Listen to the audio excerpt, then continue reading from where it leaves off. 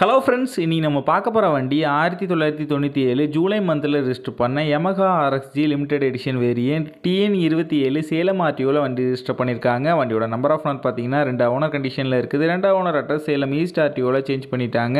வண்டியோட எஃப்சி பார்த்தீங்கன்னா ரெண்டாயிரத்தி பத்தொம்பது டிசம்பர் மந்தோட எக்ஸ்பிரி ஆயிருச்சு. வண்டியோட ஃபிசிக்கல் கண்டிஷன் பார்த்தீங்கன்னா தெளிவான கண்டிஷனில் இருக்குது. வண்டியோட இன்ஜின் கண்டிஷன் பார்த்தீங்கன்னா தெளிவான கண்டிஷனில் தான் இருக்குது. வண்டியோட ஓவரால் பாடி அவுட்லுக் நீங்களே பாருங்கள் தான் ஃபுல் ரிஜிஸ்ட்ரேஷன் எல்லாமே பண்ணியிருக்காங்க. ஃபுல் அண்ட் ஃபுல் மாடிஃபைட் பண்ண வண்டி தான் டயர் டைப் ப்ரொஜெக்டர் ஹெட்லாம் வந்து இன்ஸ்டால் பண்ணியிருக்காங்க. மாடிஃபைட் ஹேண்டில் பார் வந்து இன்ஸ்டால் பண்ணியிருக்காங்க. வண்டியோட ஃப்ரண்ட் அண்ட் பேக் ரெண்டு வீலையும் பார்த்தீங்கன்னா டிஸ்க் பிரேக் செட்டப் இன்ஸ்டால் பண்ணியிருக்காங்க.